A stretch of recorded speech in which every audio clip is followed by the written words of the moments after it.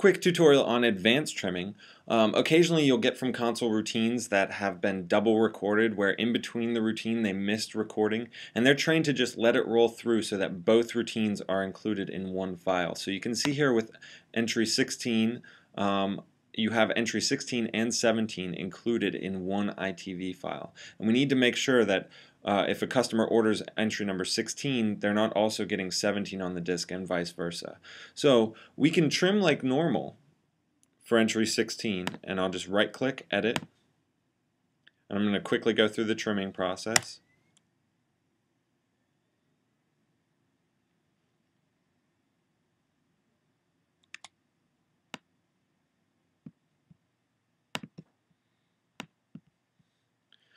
And then as I scroll through,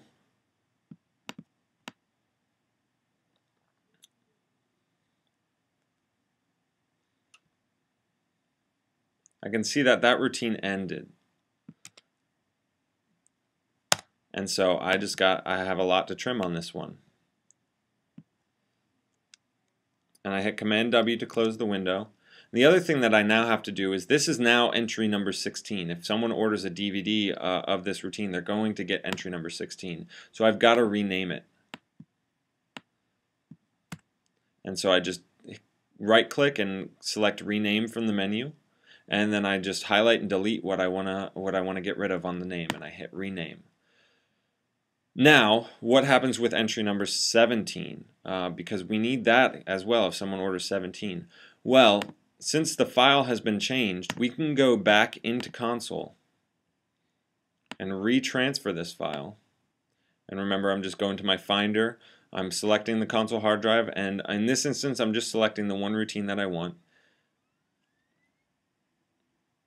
And I'm doing a quick transfer to my ITV archive.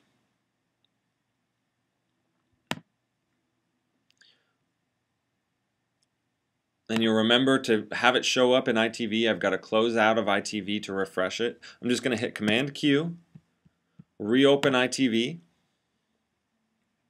and you can see I now have this file back in my playlist. And I'm just going to right click Edit, and I'm going to do the opposite now. I'm going to, I'm going to do the entry number 17's trimming.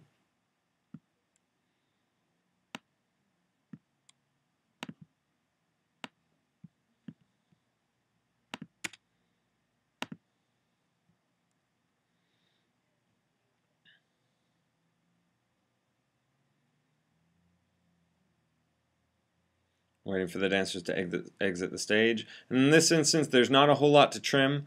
Um, it looks a little bit better to have the camera um, come all the way out, even if they're walking on to set the prop. Um, and so I hit Command W to close it out.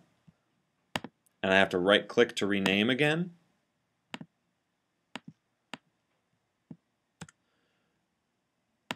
And now I have 16 and 17, both trimmed, both uh, able to be put on a DVD where they're the only routines. Um, the only thing that that is uh, kind of not advantageous about this is now you've got three files for the same routine. You've got 16, you've got 17, and still when you do your transfer, you're going to have 16 and 17 together.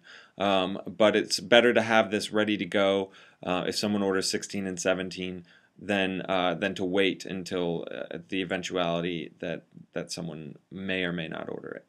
All right, so that's advanced trimming and uh, you're ready to go. You can start making DVDs.